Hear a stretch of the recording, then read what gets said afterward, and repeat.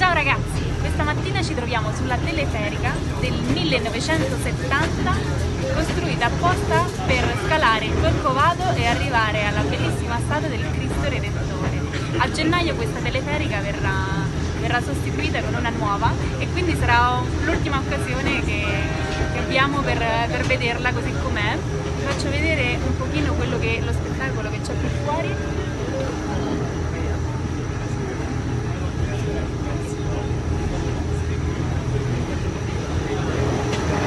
a Trapopoli, Foto del Cristo. Ciao!